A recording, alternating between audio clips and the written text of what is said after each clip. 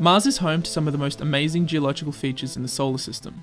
The volcano Olympus Mons is its highest mountain, standing at 22 kilometers, almost triple the height of Mount Everest. Valles Marineris is a canyon system stretching across 4,000 kilometers of the planet's surface, at depths of up to 7 kilometers. Its amazing features and similarities to Earth have made it an exciting destination for unmanned crafts for over 50 years.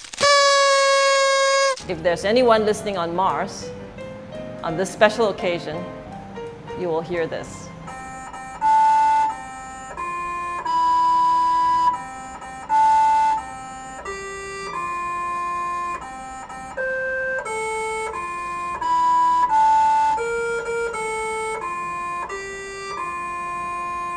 In that time, 56 missions have been launched to the Red Planet, seven of which were rovers designed to explore the surface. Of the four rovers that have successfully landed, they have clocked a combined operation time of almost 23 years and have travelled a total distance of 64 kilometres. That's just 2.8 kilometres a year, quite a slow way to explore an entire planet. There is, of course, a faster way flight. But can planes even fly on Mars? Planes use thrust to create lift on the wings by effectively pushing down air to overcome the force of gravity.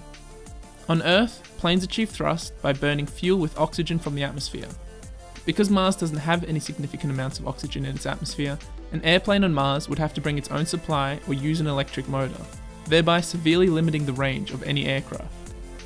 The atmosphere on Mars is less than 1% the thickness of that on Earth, meaning a lot more thrust and speed is needed to create the same amount of lift as on Earth.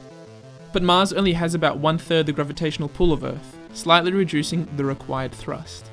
It turns out that the speed required to generate enough lift for a light aircraft on Mars is around the speed of sound, or 1,200 kilometers an hour, compared to just 100 kilometers an hour on Earth. At that speed, turning becomes a problem because the planes have massive amounts of inertia and the wings don't have enough drag to change the direction of flight. This means the plane turns, but the direction of flight doesn't change, resulting in a horrible crash at the speed of sound. This makes flight on Mars seem like an unreasonable mission, which is probably why the 11 flight missions planned by NASA since the 70s were understandably either cancelled or replaced by orbiters. A much more realistic approach to flight on Mars, and one that NASA and other space agencies are seriously considering, is the use of balloons. Balloons are much cheaper to produce, and importantly, can cover a lot more area.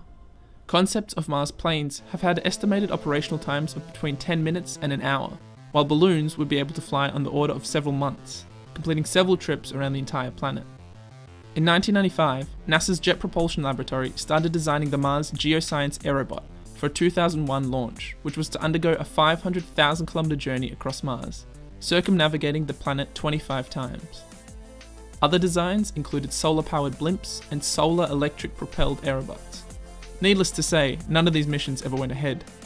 This is because they can't do what rovers have been trying to do ever since they landed on Mars search for life. An aerobot may be able to explore much more of the planet, but a rover or lander can dig into the soil and look for organic compounds and life if it were to exist there. Finding life on another planet would arguably be the most important scientific discovery ever. So it's no wonder that NASA, the European, Chinese, and Indian space agencies' plans for the coming years is a host of more rovers. But things are changing. As NASA and SpaceX both gear up for manned missions to Mars, landing sites have to be explored for areas of high scientific research value, resources for the crew, and safety. Currently, this is being done by orbiting satellites, but there is only so much they can see from space, and sending landers to the 50 landing sites of interest named so far would take a while. Instead, aerobots could be deployed to fly over these regions to narrow down the choices, and then finally a rover before the manned mission a few years later. Aerobots could play much more important roles in exploring other solar system bodies, like Venus, whose atmosphere is too thick to allow satellites to peer in, and whose atmospheric pressure at the surface is so high that it would destroy rovers shortly after deployment. Other destinations could include our solar system's gas giants or Saturn's moon Titan.